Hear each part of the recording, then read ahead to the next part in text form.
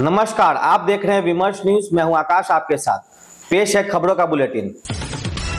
नीतीश कुमार आज सोमवार को अनंत सिंह के गाँव लगमा पहुँचे। बख्तियारपुर के परियोजनाओं का निरीक्षण करने नीतीश कुमार वहाँ गए थे। आज की यह प्रमुख खबर बन गई है कि नीतीश कुमार बिना बताए अनंत सिंह के गाँव पहुँच गए।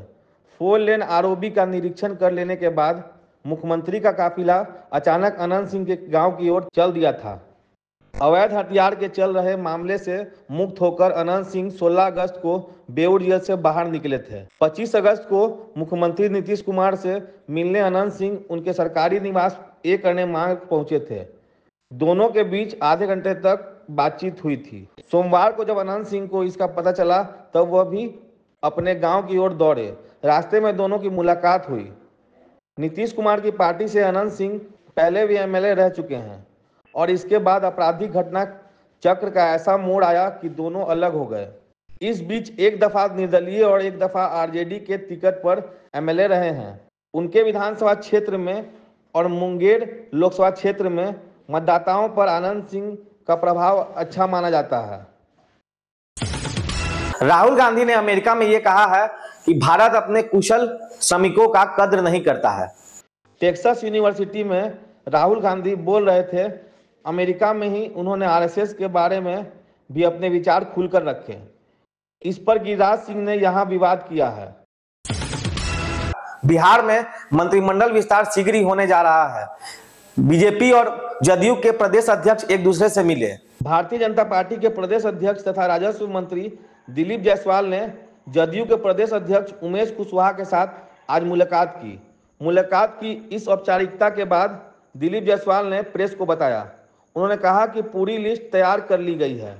मंत्रिमंडल में कई नए चेहरे शामिल होंगे। कभी भी मंत्रिमंडल विस्तार की घोषणा की जा सकती है।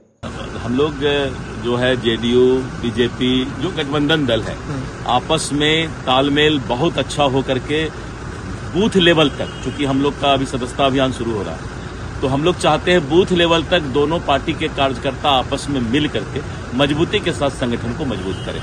और सर बोर्ड आयोग के बैठक भी भरने की तैयारी की बात हो रही है मंत्रिमंडल विस्तार की भी चर्चा है। सब सब सब तैयार है किसी भी समय हो सकता है। बेगूसराय में चिराग पासवान का अभिनंदन करने के लिए एक सभा हुई। लोक जनशक्ति पार्टी आर के अध्यक्ष चिराग पासवान का बेगूसराय में अभिनंदन हुआ। आज बेगूसराय के मटिहानी में पार्टी के राष्ट्रीय अध्यक्ष केंद्रीय मंत्री चिराग पासवान ने विशाल आम सभा को संबोधित किया है। देखिए इस विशाल सभा के कुछ वीडियो फुटेज। लोक जनशक्ति पार्टी रामविलास और चिराग पासवान सिर्फ़ एक लक्ष्य, एक उद्देश्य के साथ आगे बढ़ने का कार्य कर रहे हैं।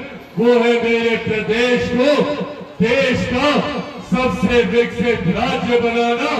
बिहार को फ़र्स्ट और बिहारियों को फ़र्स्ट बनाने के लक्ष्य के साथ कार्य कर रहा है और ये विश्वास पुनः आप लोगों को दिलाना चाहता हूँ कि जब तक अपने इस लक्ष्य को मैं हासिल नहीं कर लूँगा, जब तक बिहार को फ़र्स्ट और बिहारियों को फ़र्स्ट नहीं बनाऊँगा, तब तक चिराग पासवान भी चैन की सांस नहीं लेगा।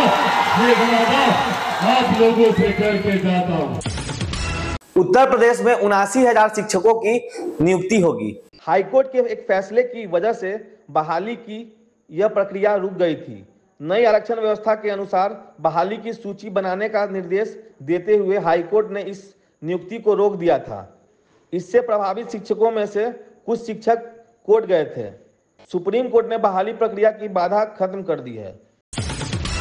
Mokama Bakhtiyarpur railway overbridge four lane का है। और यह करजन ताजपुर सेतु कहलाता है।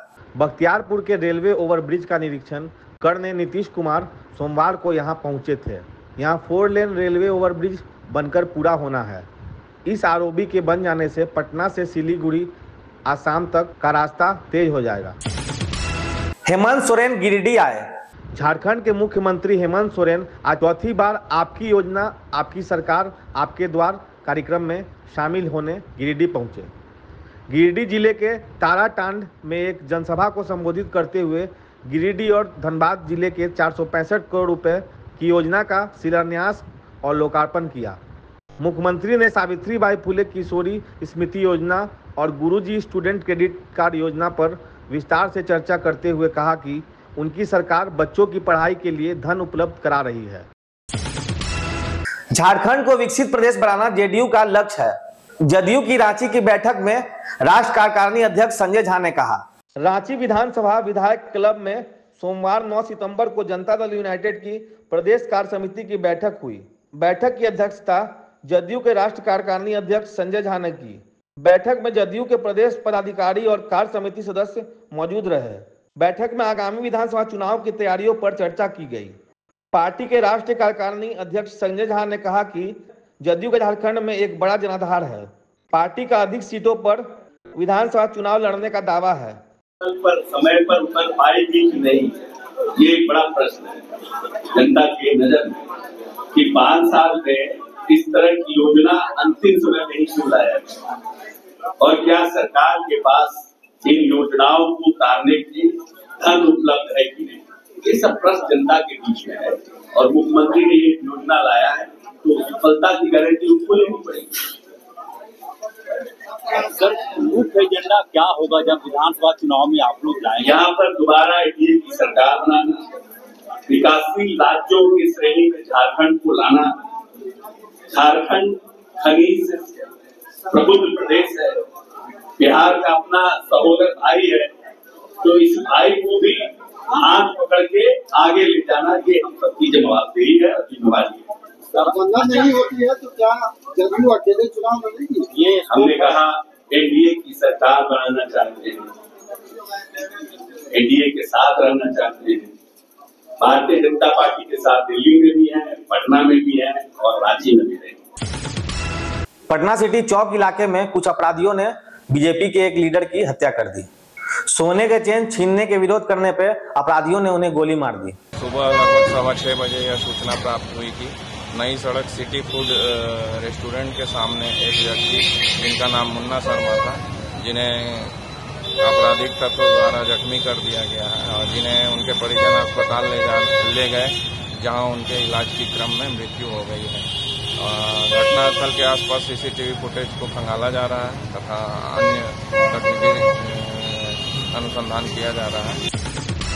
जीतन राम मांझी ने शराबबंदी को लेकर सवाल उठाया है, साथ ही कहा है कि इससे गरीबों को सताया जा रहा है। शराबबंदी ठीक है, शराब नहीं पीना चाहिए, लेकिन शराबबंदी के आड़ में गरीबों को जिस प्रकार से सताया गया है, सताए जा रहे हैं, वो सोचने की बात है। और दूसरी बात है कि शराबबंदी के चलते विषैला शराब का निर्माण बहुत ज़्यादा हो रहा है, जिसको पी करके लोग मर रहे हैं। शराब बनाने की प्रक्रिया होती है, उस प्रक्रिया में दो दिन, चार दिन, पाँच दिन लगता है। लेकिन आज शराब दो घंटा और डेढ़ घंटा में लोग बना देते हैं। इसके चलते भी ऐसे होते हैं। नुके छुपे कुछ काम करते हैं, जिसके चलते भी गड़बड़ बातें होती है। बाहर के लोग आते हैं, यहाँ ऊँचे दाम पर शराब बेचते हैं। हमारे लोग ऊँचे दाम पर ले लेते हैं, खपत होती है। हमारे सरकार के पैसा तो खराब होता ही है। व्यक्तिगत पैसा भी खराब हो जा रहा है। तो और अगर आप ये खबर यूट्यूब पे देख रहे हैं तो लाइक करें सब्सक्राइब करें, तथा बेल आइकन दबाना ना भूलें, ताकि आपको हर पल का नोटिफिकेशन मिलते रहे। तब तक के लिए मैं आकाश, विमर्श न्यूज़ के लिए धन्यवाद।